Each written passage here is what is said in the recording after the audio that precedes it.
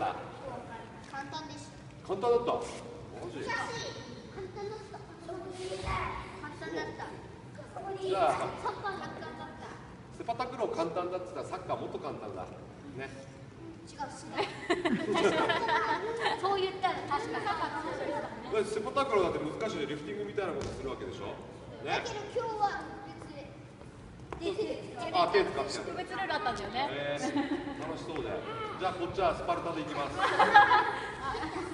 そう楽しくやっていきましょう。そしたらじゃあまずねあそこのねオレンジのマーカーがあると思うんだけどあそこ。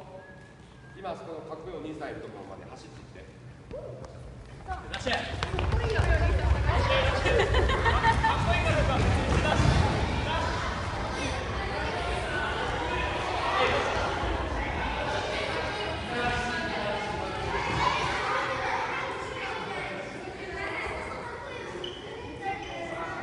はいそしたらねいいえっと今からゲームしますゲームゲームってサッカーのゲームじゃないよ。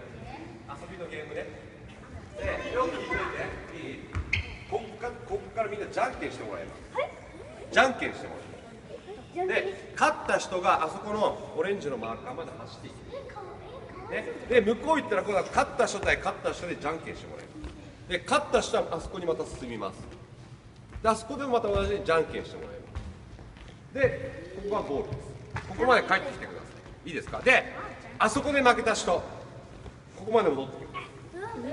向こうで負けた人走ってここまで戻ってくる。負けたらずっとここから始め。いいですか？じゃあ2人組作って。